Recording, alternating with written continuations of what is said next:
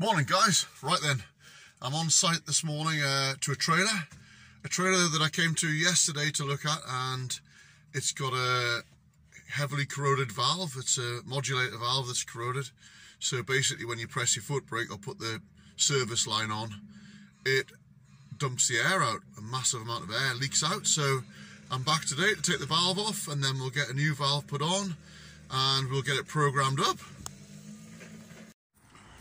Right then guys, so if I put a service line here, two seconds.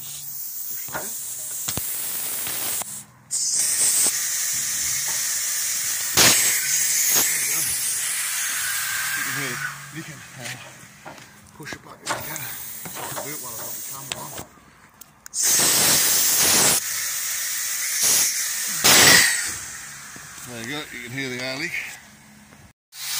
There you are guys, that's it plugged in. You can hear it venting out the bottom of the valve there, so uh, yeah.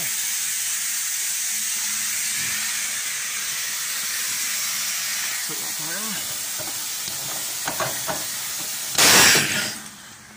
Excellent. Okay, so that's the valve there, there's your modulator valve. And if you look in there, up the corner of the valve there, you can see the corrosion right in there where my finger is. And that's where the air's leaking out of it. So, uh, yep, I'll get those pipes marked and then we'll get that valve off. Yeah, so uh, there's the other side of the valve. And if you look up in there, absolutely corroded away. So yeah, it's a Wabco Series E, I think this one is. So, um, have a go at getting it programmed, but I'm not sure about this one. I might have to get Wayne to come over and uh, give me a hand to program it up afterwards, but yep, we'll worry about that when we get to it. So just go delicately pull these tabs back. See that one there? Where my finger is. Pull these back and they lock the harness in place. And then we can go right along, pull all those harnesses out, but you've got to be really careful you don't break them. So I'm labelling the pipes with masking tape and marking them and then the corresponding port. I'm just putting a blob of like one two three so I know which pipe goes where. In the past if you if you mark the pipe with Tipp-Ex that tends to get rubbed off and you'll lose which pipe goes where.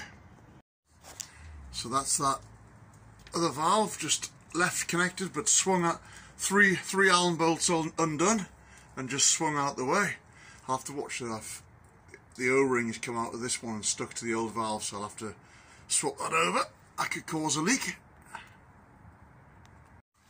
Okay, so that's on the other side of the valve, so that's all the pipe work disconnected. I think I might just drop it down off its mound, hang it down and then get those plugs off. I'll see what happens, I'll see what I do. Now that's all coming undone, I didn't need to drop it down, so I've marked the modulator plug numbers. So you can see I've pulled these two tabs back. Just with a pointy nose pair of locking pliers. Just pull the plugs out like that.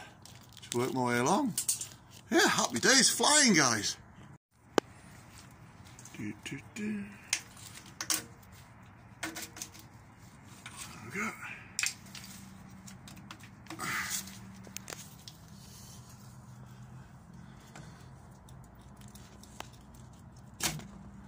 There we go. Beautiful.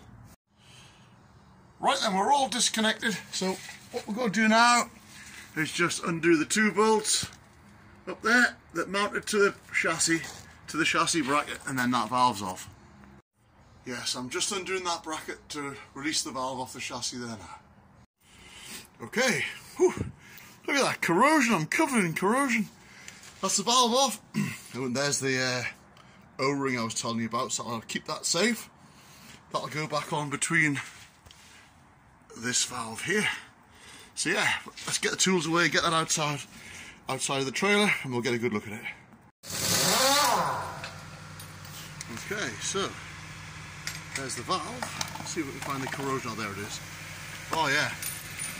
So, I don't know if you can see it, but if I zoom in on there, you can actually see the hole. There's a hole right in there. You can see that. Yep, there's a hole in there.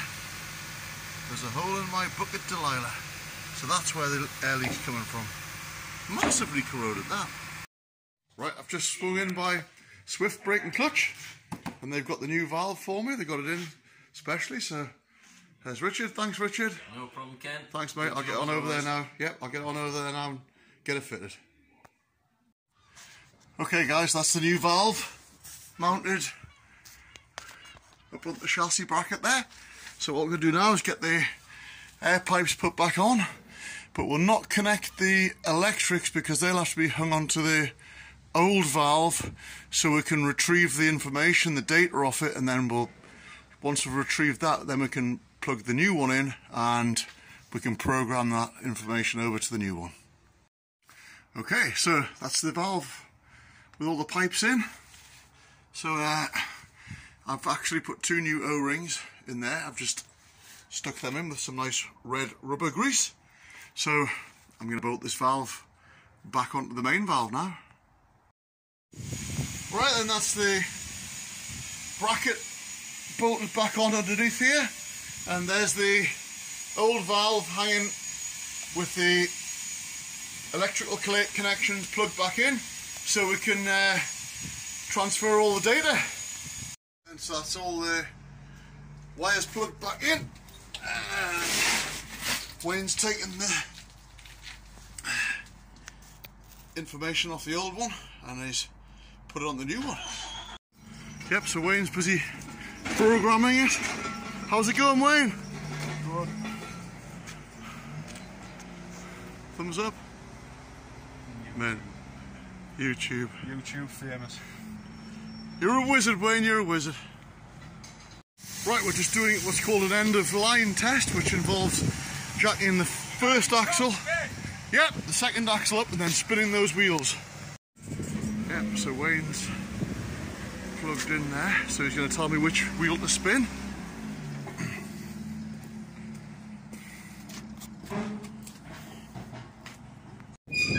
Yeah, Wayne. Wayne's from uh, WHH, and uh, yeah, he's a sucker for punishment. He loves buses. Right, so just busy pressuring it all up for the end of line test. Well guys, uh, me and Wayne tried, but that valve wouldn't program. Tried everything to get it programmed and it wouldn't pass its final test. So because it wouldn't pass the final test, it leaves a, a an, a, an, ABS malfunction light on the dash of the truck, like a, uh, a fault. So um, yeah, probably have another go at it tomorrow. I'll bring it back in the workshop, but uh, yeah, we'll we'll sort it. Uh, this is real life, so it is what it is. So uh, yeah.